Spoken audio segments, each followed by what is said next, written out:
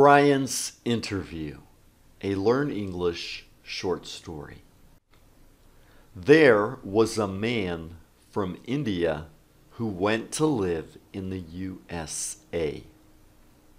He was a researcher and university teacher. His name was Bryan Gupta.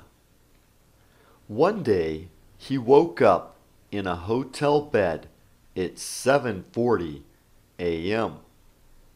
He didn't know why he was there and his head was pounding. After a bit, he did remember that he had an important interview that day. So he got up to take a shower. Then he got dressed and had a continental breakfast down in the hotel cafeteria. He noticed that the hotel employees were looking at him strangely, but he ignored them. After breakfast, Bryan caught a taxi to the interview.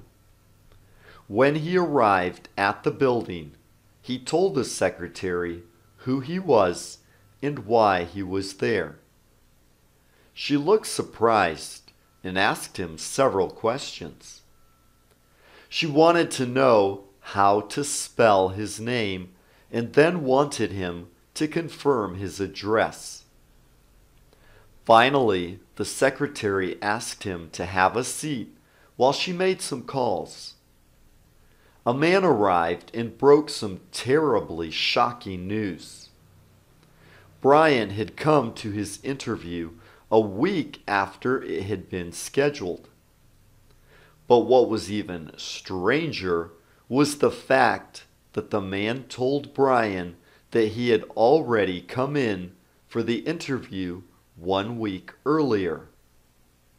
He felt very embarrassed over his behavior. Why had he forgotten about the previous interview?